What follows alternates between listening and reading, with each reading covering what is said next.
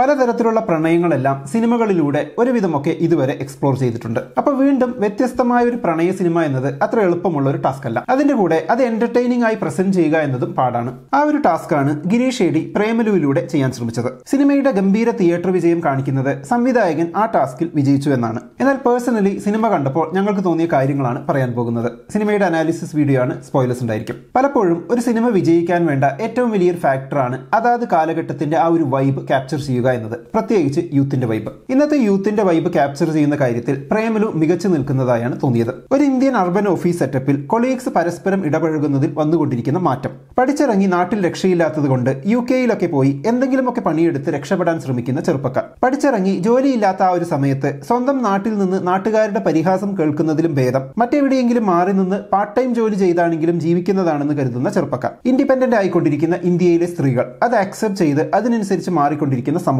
Single ആയിരിക്കുന്നവർ നേരിടുന്ന peer pressure അത് മറച്ചുവെക്കാൻ വേണ്ടി ചിലർക്ക് തട്ടിവിടേണ്ടി വരുന്ന നുണകൾ. അങ്ങനെ നമ്മുടെ ചുറ്റിലും നടന്നുകൊണ്ടിരിക്കുന്ന മാറ്റം കഥാസന്ദർഭത്തോട് ഇടകലർന്ന രീതിയിൽ റിയലിസ്റ്റിക് ആയി വന്നതൊക്കെ രസമായി തോന്നി. അടുത്ത പാട്ടിലേക്ക് പോകുന്നതിന് മുമ്പ് ചെറിയൊരു പ്രൊമോഷൻ ഉണ്ട്. പ്രണയ സിനിമയായ പ്രേമലുവിനെ കുറിച്ചാണല്ലോ നമ്മൾ സംസാരിക്കുന്നത്. പ്രണയം എന്ന് കേൾക്കുമ്പോൾ നമ്മുടെ മനസ്സിലേക്ക് വരുന്ന ചില പ്രശസ്ത കൃതികളാണ് ബഷീറിന്റെ പ്രേമലേഖനവും ബാല്യകാല സഖിയും. ഇപ്പോൾ Kuku F M audio book ആപ്പിൽ നിങ്ങൾക്ക് ഫ്രീ ആയി ഈ പുസ്തകങ്ങൾ കേട്ട് ആസ്വദിക്കാൻ കഴിയും. കുക്കു എഫ് എം ഇപ്പോൾ ഏഴ് ദിവസത്തെ ഫ്രീ ട്രയൽ നൽകുന്നുണ്ട്. ഫ്രീ ട്രയലും അതിനുശേഷമുള്ള ഓട്ടോ പേയും ആക്ടിവേറ്റ് ചെയ്യാൻ രണ്ട് രൂപ നിങ്ങളുടെ അക്കൗണ്ടിൽ നിന്നും ചാർജ് ചെയ്യും. ആക്ടിവേഷന് ശേഷം ആ രണ്ട് രൂപ റീഫണ്ട് ചെയ്യുകയും ചെയ്യും. ഈ ഏഴ് ദിവസത്തിനിടയ്ക്ക് എപ്പോൾ വേണമെങ്കിലും ഈ ഓട്ടോ പേ ഓപ്ഷൻ നിങ്ങൾക്ക് ക്യാൻസൽ ചെയ്യാം. മലയാളത്തിലെ മറ്റ് പ്രശസ്ത കൃതികളായ ആടുജീവിതം എഴുതിയ ബെന്യാമിന്റെ മഞ്ഞവയിൽ മരണങ്ങൾ ഒ വി വിജയന്റെ കസാക്കിന്റെ ഇതിഹാസം എം മുകുന്ദന്റെ മയ്യഴിപ്പുഴയുടെ തീരങ്ങളിൽ മാധവിക്കുട്ടിയുടെ എന്റെ കഥ നീർമാതളം Poothakalam world class Sherlock Holmes കഥകൾ. അങ്ങനെ ആയിരത്തിലധികം ബുക്സ് കുക്കോ എഫ് എമ്മിൽ നിങ്ങൾക്ക് ഏഴ് ദിവസത്തേക്ക് ഫ്രീ ആയി ആക്സസ് ചെയ്യാം. പരസ്യങ്ങളില്ലാതെ പ്രീമിയം ക്വാളിറ്റിയിലുള്ള ഓഡിയോ ബുക്സ് അടുത്ത ഏഴ് ദിവസത്തേക്ക് ഫ്രീ ആയി കേട്ട് ആസ്വദിക്കാൻ കുക്കു എഫ് എം ആക്ടിവേറ്റ് ചെയ്യും.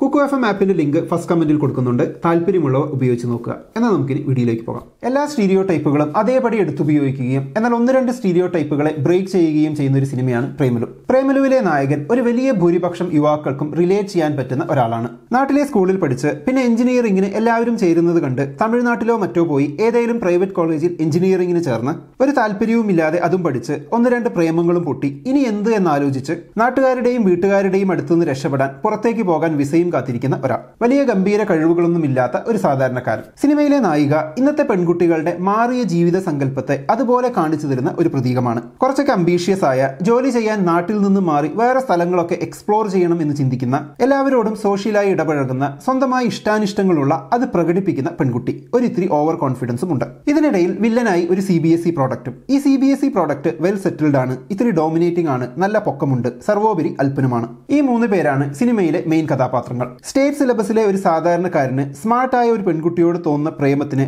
ഈ സി ബി എസ് ഇ കാരൻ ഒരു വിലങ്ങ് തടിയാവുമോ എന്ന ഒരു ഇതിലാണ് ഈ പടത്തിന്റെ കോമഡി കിടക്കുന്നത്. ഈ ക്യാരക്ടറൈസേഷൻ ഒക്കെ ക്ലീഷയാണെങ്കിലും സ്റ്റേറ്റ് സിലബസുകാരുടെ അനാവശ്യ കോംപ്ലക്സിൽ നിന്നും വരുന്നതാണെങ്കിലും ചിലയിടങ്ങളിലൊക്കെ റിലേ ചെയ്യാൻ കഴിയുന്ന എന്തോ ഒന്ന് സിനിമയിലുണ്ടായിരുന്നു. ഇനി എന്ത് സ്റ്റീരിയോ ടൈപ്പാണ് സിനിമ ബ്രേക്ക് ചെയ്യുന്നത് എന്ന കാര്യത്തിലേക്ക് വരാം. നായിക തുടക്കത്തിൽ ആഗ്രഹിക്കുന്ന പാർട്ട്ണർ എന്നത് തന്നെക്കാൾ വെൽ സെറ്റിൽഡ് തന്നെക്കാൾ മെച്യൂരിറ്റി അങ്ങനെ എല്ലാം തന്നേക്കാൾ കുറച്ച് കൂടുതലുള്ള ഒരാളെയാണ്. അതായത് നായിക സ്വയം കരുതുന്നത് തനിക്ക് വേണ്ടത് തന്നെക്കാൾ എല്ലാ കാര്യത്തിലും ഉയർന്നു നിൽക്കുന്ന ഒരു പാർട്ട്ണറിയാണ് എന്നാണ്. എന്നാൽ യഥാർത്ഥത്തിൽ തനിക്ക് വേണ്ടത് അതല്ല എന്ന് നായിക തിരിച്ചറിയുന്നത് രണ്ട് വ്യത്യസ്ത ചെറുപ്പക്കാരെ ഒരുമിച്ച് പരിചയപ്പെടുകയും അവരോട് ഇടപഴകുകയും ചെയ്യുമ്പോഴാണ്. എല്ലാ കാര്യത്തിലും ആണ് തന്നെക്കാൾ ഒരുപടി മുന്നിലായിരിക്കണം തന്നെ ടേക്ക് കെയർ ചെയ്യണം എന്നൊന്നുമില്ല എന്നും ചില കാര്യങ്ങളിൽ താൻ മുന്നിലാകുന്നതും ആ കാര്യങ്ങളിൽ താൻ അയാളെ ടേക്ക് കെയർ ചെയ്യുന്നതുമൊക്കെ താൻ ആസ്വദിക്കുന്നുണ്ട് എന്നതുമായ ആ സത്യം നായിക തിരിച്ചറിയുകയാണ്. സി വി മര്യാദയ്ക്ക് ഉണ്ടാക്കാൻ അറിയാത്ത ജോലിക്ക് ഇന്റർവ്യൂവിന് എങ്ങനെ പ്രിപ്പയർ ചെയ്യണം എന്നതിനെ പറ്റി വലിയ ധാരണയില്ലാത്ത സച്ചിനെ അതിലെല്ലാം സഹായിക്കുമ്പോൾ തനിക്ക് താനായി തന്നെ ഇരിക്കാനും സന്തോഷമായി ഇരിക്കാനും കഴിയുന്നുണ്ടെന്ന് റീനു മനസ്സിലാക്കുന്നു. എല്ലാ കാര്യങ്ങളിലും താൻ മാത്രമാണ് ശരി തനിക്ക് തെറ്റ് പറ്റില്ല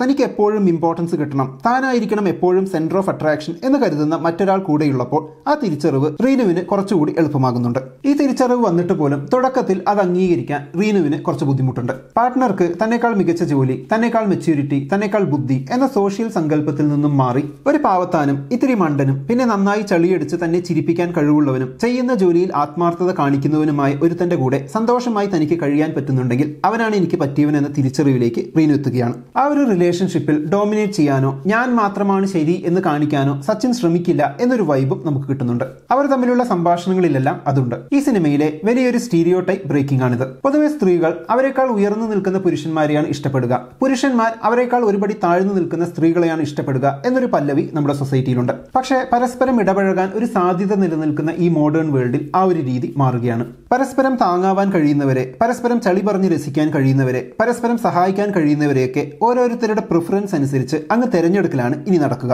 സിനിമയിൽ ഈ ഒരു പോയിന്റ് ഓഫ് വ്യൂ ഇഷ്ടപ്പെട്ടെങ്കിലും ഇഷ്ടപ്പെടാത്ത ചിലതുമുണ്ട്. അതിലൊന്നാണ് വാണ്ടർലസ്റ്റും തോമസ് എന്ന കഥാപാത്രവും. വാണ്ടർലസ്റ്റ് എന്ന കഥാപാത്രം ഫ്രെയിമിൽ കൂടി അങ്ങോട്ടും ഇങ്ങോട്ടും നടക്കുന്നതും ഇരിക്കുന്നതും ഒക്കെ കാണിക്കുന്നത് ഒഴിച്ചാൽ ആ കഥാപാത്രം എന്തിനാണെന്ന് തോന്നിപ്പോയി. ബാറിലിരുന്ന് പാസ്കൽസിലോ എഴുതിയുണ്ടാക്കുന്ന ഇൻട്രോവേർട്ട് കഥാപാത്രം അതിലും വലിയ ക്ലീഷയാണ് സംവിധായകന്റെ മനസ്സിലെ ഇൻട്രോവേർട്സ് എല്ലാം ഐൻസ്റ്റൈന്റെ ബുദ്ധിയുള്ളവരാണെന്ന് തോന്നുന്നു. ഒന്നെടുത്താൽ ഒന്ന് ഫ്രീ എന്ന പോലെ നസ്ലീൻ വരുമ്പോഴെല്ലാം മാത്യുവും വരണമെന്നില്ല. അതിന്റെ ഇടയ്ക്ക് പാസ്കൽസ് ലോയെ കുറിച്ച് പഠിക്കാൻ താല്പര്യമുള്ളവനെ ബാറിൽ കൊണ്ടിരുത്തിയുള്ള മലയാളം മീഡിയക്കാരുടെ ഷോ ഓഫും കള്ളുകുടിച്ചാൽ മാത്രം ധൈര്യം വരുന്ന ഇത്തിരി അപകർഷതാബോധമൊക്കെ ഉള്ളവരാണ് സ്റ്റേറ്റ് സിലബസുകാർ എന്നൊരു ക്ലീഷയും സിനിമയിലുണ്ട്. ഒടുക്കം വാൾ പുറത്ത് കാണിച്ച് കൈ കഴിച്ചു രണ്ട് മിനിറ്റ് അതൊന്ന് അകത്തേക്ക് ഇട്ടോട്ടെ എന്ന് ചോദിക്കുന്ന ഗുണ്ടാ തലവൻ ശ്യാം പുഷ്കറിന്റെ കഥാപാത്രവും കൊള്ളാമായിരുന്നു. നസ്ലിന്റെ അഭിനയം പ്രത്യേകിച്ച് ആ നാണം എക്സ്പ്രഷനൊക്കെ ഗംഭീരം. മമിതയും തകർത്തു. സി ബി എസ് ഇ പ്രൊഡക്റ്റായി വന്ന ശ്യാം മോഹൻ പിന്നെ അമൽ ഡേവിസ് ആയി വന്ന സംഗീത് പ്രതാപ് ഒക്കെ നല്ല അടിപൊളി പ്രകടനമായിരുന്നു. അമൽ ഡേവിസ് എന്ന പേര് കേൾക്കുമ്പോൾ അത് അങ്ങനെ തന്നെ വിളിക്കുന്നത് കേൾക്കുമ്പോൾ പഴയ സ്കൂൾ കാലമൊക്കെ ഓർമ്മ വന്നു. ബീന ടീച്ചറുടെ മോൻ എന്ന് വരുന്ന ആ ഡയലോഗ് റീനുവിന്റെ അച്ഛൻ കേക്ക് കഴിക്കുമ്പോൾ സച്ചിൻ പറയുന്ന ഡയലോഗ് ആദ്യം സച്ചിനും തമ്മിലുള്ള ചില കോൺഫ്ലിക്ട് സീക്വൻസ്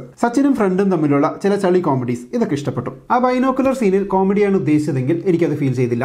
ചുരുക്കത്തിൽ മൊത്തത്തിലുള്ള കഥയിൽ വലിയ പുതുമയില്ലെങ്കിലും ചില ക്ലീഷേസ് വരുന്നുണ്ടെങ്കിലും എന്റർടൈനിങ് ആയ ചില സ്റ്റീരിയോ ടൈപ്പ് ഒക്കെ പൊളിച്ചെഴുതുന്ന ഇന്നത്തെ യൂത്തിന്റെ വൈബ് ക്യാപ്ചർ ചെയ്യുന്ന ഒരു റോം കോമായാണ് പ്രേമുലു ഫീൽ ചെയ്തത്. അപ്പൊ എന്താണ് പ്രേമുലു എന്ന സിനിമയെക്കുറിച്ചുള്ള നിങ്ങളുടെ അഭിപ്രായം? കമന്റ് ബോക്സിൽ എഴുതുമല്ലോ. നമുക്ക് അടുത്ത വീഡിയോയിൽ വീണ്ടും കാണാം. ബൈ